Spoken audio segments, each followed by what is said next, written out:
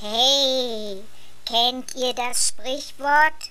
Wer anderen eine Grube gräbt, fällt selbst hinein? Falsch. Es muss heißen, wer anderen eine Grube gräbt, ist selbst ein Schwein.